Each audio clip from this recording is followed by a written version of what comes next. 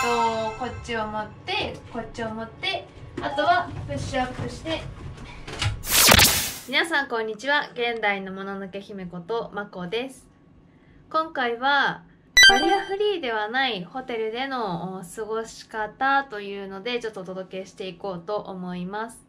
ホテルはルミエール火災というところに今いるんですけども一応ネットでは、まあ、部屋の広さとか、まあ、トイレの広さとかを一応見た上で予約はしたんです。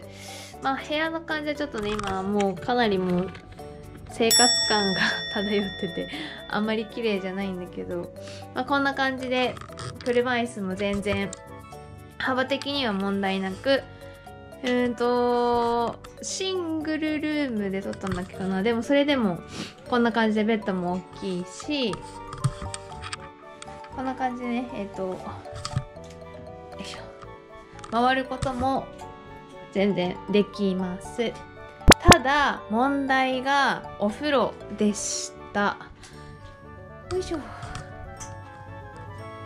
こう入ってきて扉ですね。ここ。見えますか？段差。このね段差があったんですよ。5センチくらいかな。5センチくらいの段差があって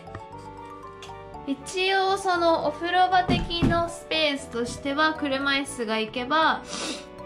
まあ車椅子が入れなくはないみたいなあ広さです。ではこの段差がある。そしてまあ浴室もなかなか狭いっていうところでどういうふうに私が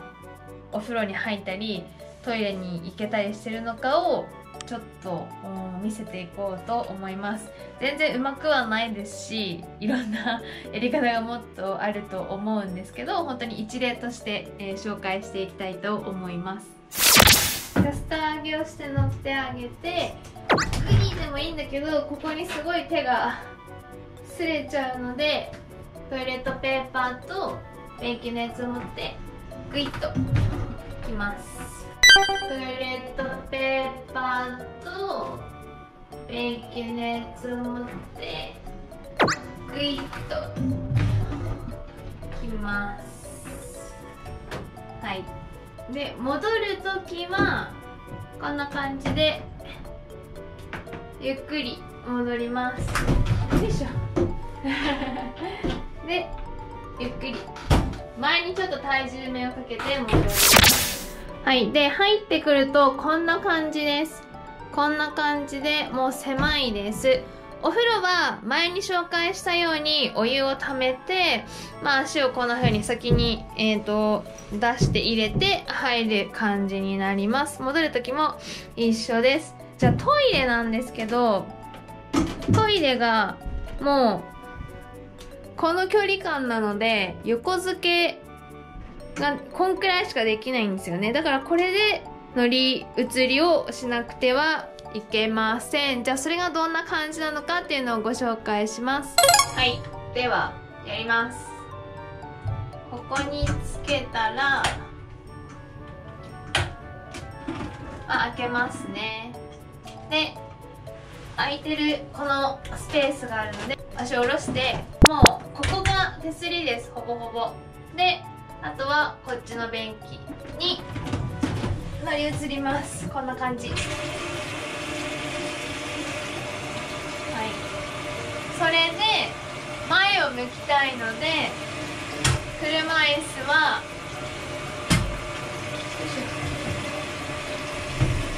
一度出します。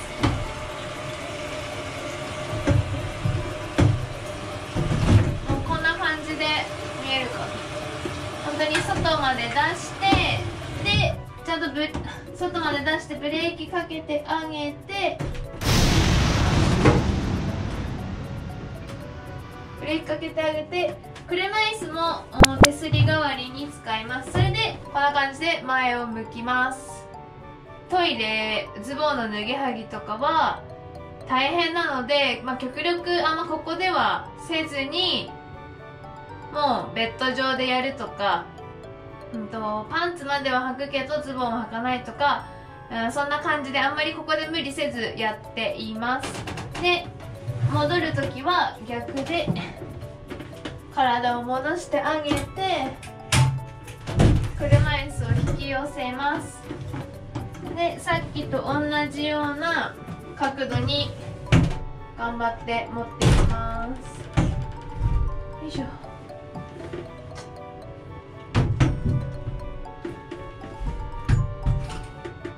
こんな感じかな？はいこんな感じで、えーと、引き寄せ元に戻したらこっちが手すり手すり代わり。でこっちにある、うん、手すり代わり。ではい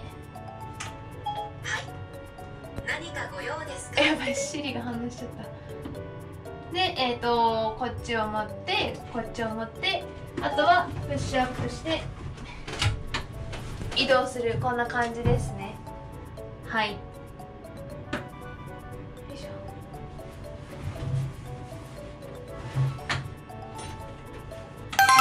いこんな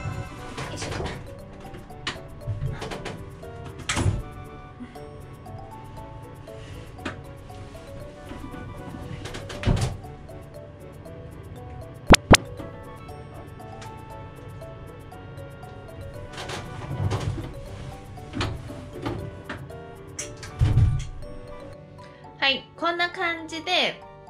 うんと、段差があるホテルでも過ごせるということが分かりました。なかなかホテル選びって難しいですしバリアフリーが整えば整うほど値段も高くなってしまうのでちょっと自分が工夫して、まあ、頑張る、まあ、状態にはよるんですけど頑張ることによってまあある程度の皆さんうん、よく使うビジネスホテルと同じ値段で泊まることができます。だしやっぱりあの幅がどんどんどんどん広がっていくと思います。もっとねなんかすごいあの段差があるところでも部屋の中にある椅子を使うとできるっていうなんかベテランの人たちもいるんですがまだ私はその域に達してないので今後ちょっとチャレンジする機会があったらチャレンジしてみようと思います。うんまあ全てにおいてではないですけどこんな風にバリアがあっても自分の技術とか力とかを身につけられる部分とか工夫できる部分を工夫していく。だからあえてとかわざとちょっと厳しめの環境下に置くとかっていうことも大事なのかなとは思います。私はリハビリをしてる時国リ派のリハビリをしている時の目標が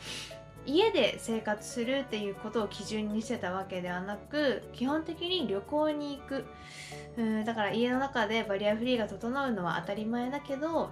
きっと旅行先ではバリアフリーが整ってないところ大変なところがたくさんあるからこそ旅行先でも自立して生活できるようにするっていう目標でリハビリを頑張っていました。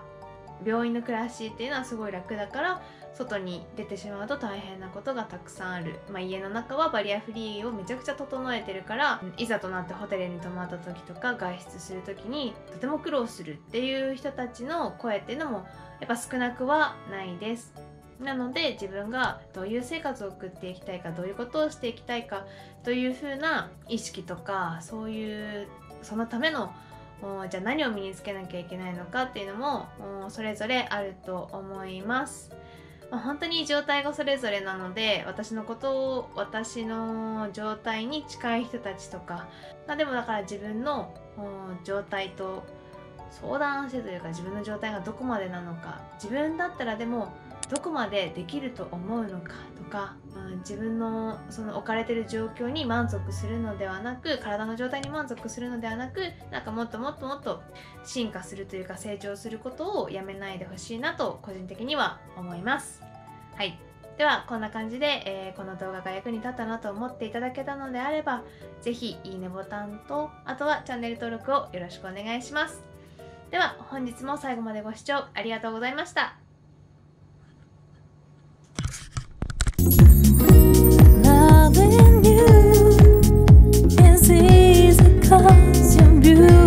tiempo.